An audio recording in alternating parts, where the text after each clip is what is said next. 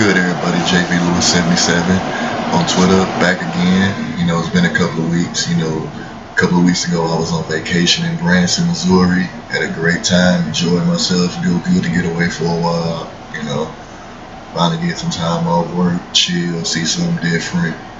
You know, it was all right. It was all right. You know, uh, planning on going back next year. So, you know I'm? See how that goes you know, just figuring out what time in the summer to go. But, you know, just gonna run off a couple things, you know, that I've ran across and stuff like that. First things first is that the whole Idris Elba thing where the author Anthony Horowitz, he said that Idris Elba is too street to play James Bond. But he also said, you know, that it's not a race thing. He said that he that's other black actors he would have in mind to play the role of James Bond right, I mean, you know, that's cool. But see, the controversy is, is that you said street.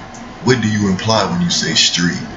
Street can be taken a number of different ways. I mean, is he too black? Is he too hood? I mean, you know, it's just that, that word means different things. You know, like diva means different things depending on who you refer to. Like some people, when they say diva to this chick, it may mean something, but if you call this chick a diva, that means something completely different. You know what I mean?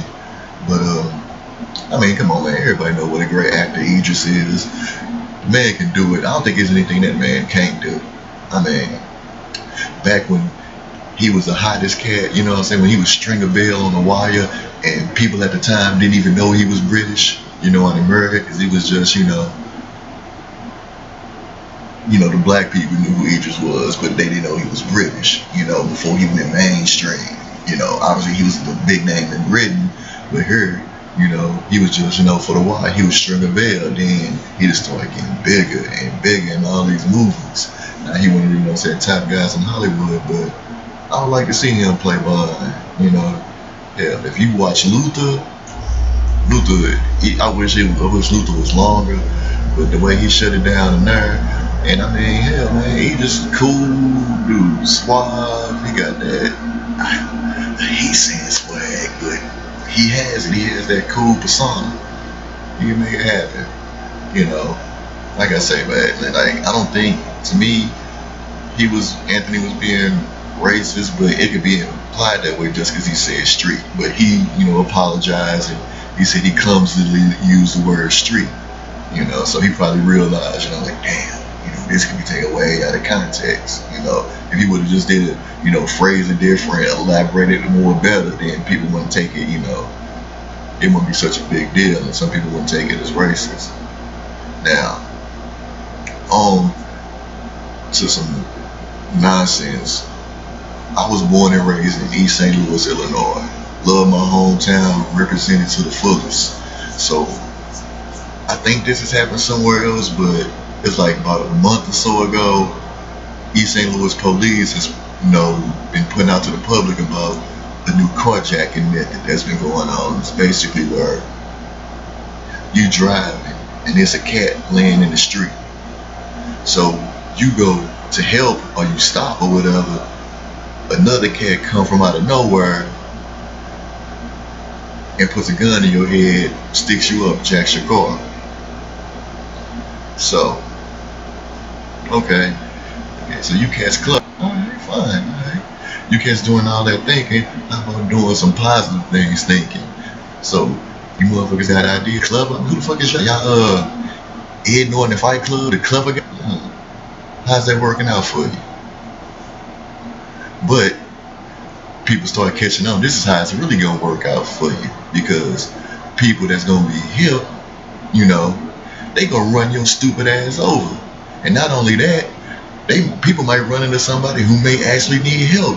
Now they gonna be thinking twice about it. You know? So now, here's a fucking dilemma. So you're gonna be saying like, man, oh man, these fools think, oh, not me. Shit, they niggas ain't gonna catch me. Fuck wrong with them. Honk your horn, run their ass over, you know, back up, do whatever, but that shit is that's crazy. Right. Because I, I, I guarantee you it's going to be a situation where somebody's going to be really laying in the street, need some help, and natural reaction as a human being, you're going to stop or you're going to check to see if the person all right, see if the person need help. You know what I'm saying? I know before this came on, I know that's what I would do. You know, I wouldn't be one of them people, you know, something going on and, and just standing there watching something like that. I'm like, oh shit. Hey. But now, you know, I might, you know, people say, they rev up their motherfucking car. You know what I'm saying? Speed up on them real quick, see if they ass get up and start running. You know, that's what's going to end up happening, man. I mean,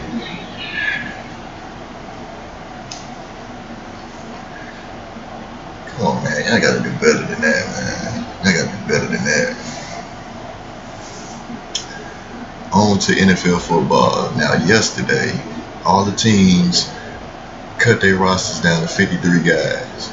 And of course, that's going to be people that get released. Some you think that they're going to get released.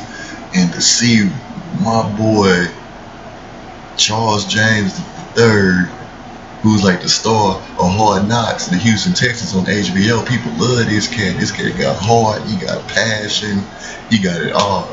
And man thought he was a shoe in. He didn't make it but he'll get picked up though.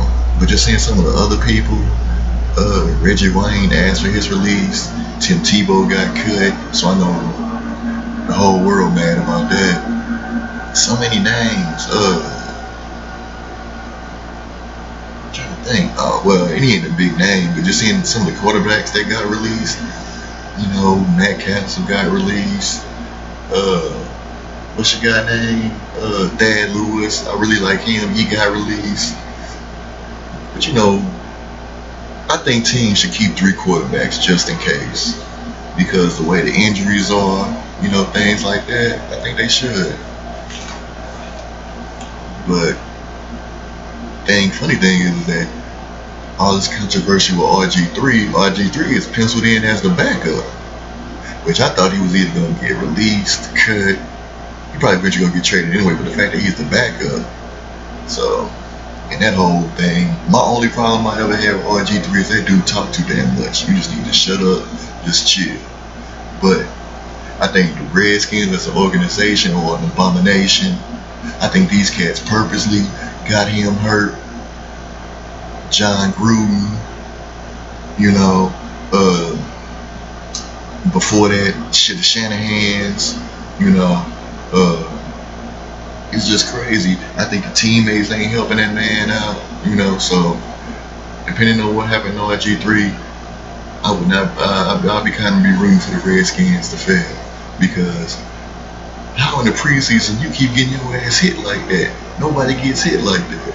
So it's like they not blocking them, man. It's, it's crazy. Now me, I particularly don't have an NFL team, but that's certain guys I'm a root for, you know. I'll be rooting, you know what I'm saying, for Cam in Carolina. You know, I like Cam. You know, there's a couple other, uh, you know, teams, you know, I like. But, uh, you know, funny thing is my dad a Cowboy fan and I can't stand the Cowboys. You know, that's that's crazy. Uh, I'm not a Rams fan, you know, because I'm not one of them dudes who, I'm not a fan who do it here. Um, it's just how it is. I'm just looking forward to the season so I can have some sports to watch. And then it just tied me over to the NBA comeback. Then we really gonna get into some sports. Because NBA is me 100%. That's what I do. But yeah, a quick tad bit uh, real quick. So, JV Lewis 77 on Twitter, J77 on Instagram check my profile and stuff like that. City links to all the pages. Yeah, have a great holiday weekend. Be safe out there. Watch these knuckleheads in the streets. Definitely watch the police. It's just too much craziness out here, man. You know, you just hope that something to change. Oh, one more thing. Those we be sister chicks, those two black women who got these videos who going around supporting Donald Trump. Hey man, y'all chicks need to stop for real. I'm just saying. Are they paying y'all? Do y'all really believe this shit? Donald Trump, who's basically out here promoting racist shit, man. You know? This dude clearly is on some racist shit, especially with Hispanics. If you a Hispanic and you voting for Donald Trump or you support that man, you are a fucking idiot. If you are black and you support Donald Trump, you are an idiot. Now, if you are a Republican, have at it. But for those we be sister chicks that say that Donald Trump will bring hope to black people is one of the dumbest things I ever heard in my fucking life. And I've heard a lot of dumb shit. Word. So I'm gonna just stop. I'm gonna just leave it at that, man. But like